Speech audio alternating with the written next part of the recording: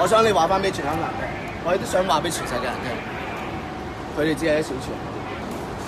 What a shame! What a shame to Hong Kong!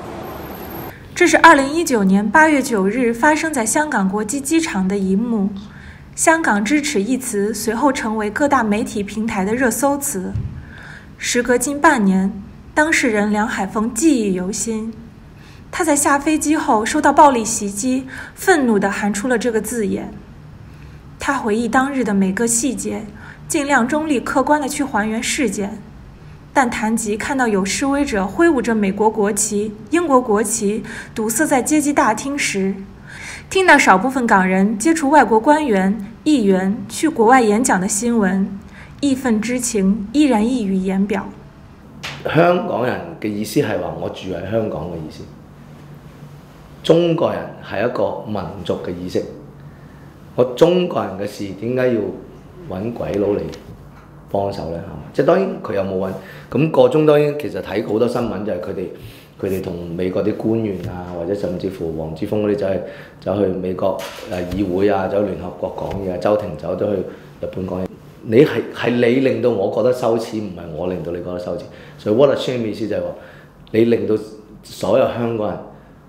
蒙上一個恥辱。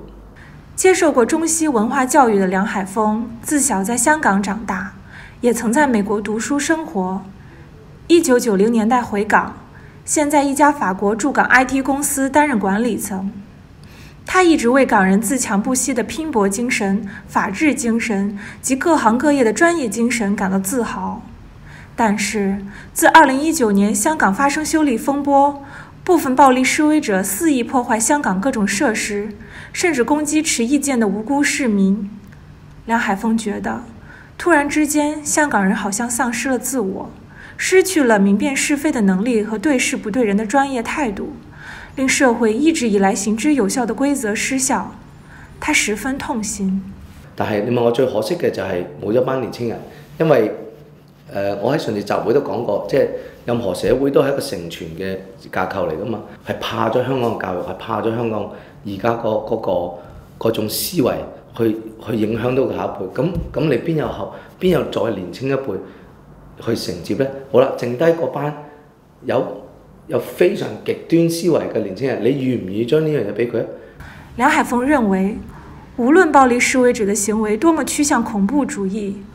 香港警方都保持着极其克制和坚忍的态度。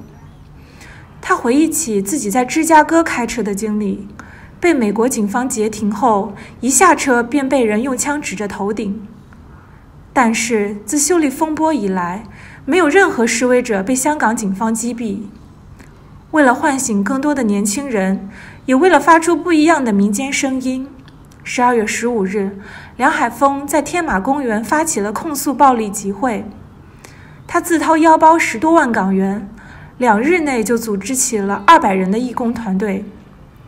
本以为可能只有两三千人参加，没想到应者云集，最终有超过五万人出席。真系嗰句，我系冇谂到有五万几人。嚟嘅，因為我哋當時睇個天馬公園嘅設計咧，就已經諗究竟我哋係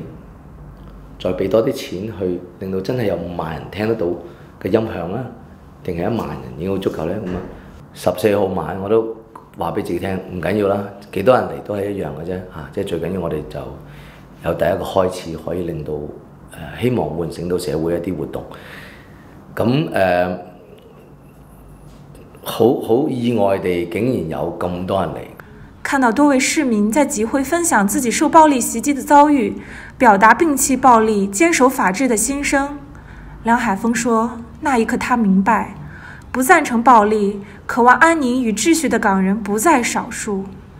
对于未来，他仍有信心。他说自己这辈的港人将香港建设成今时今日的模样。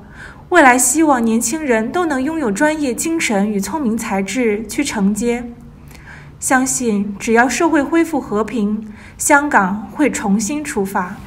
對未來我從來都冇擔心過啊，因為香港人都幾堅強嘅，即係同埋都經歷過唔同嘅一啲衰退，都捱得過。挺得住向前行過。只要只要去令到成個社會平和，重新即係你要回回復到一個平和點，但係去到起碼大家唔會再爭鬥，咁喺呢個平和點重新起步咧，香港人可以行得到落去。更多精彩尽在中国新闻网客户端。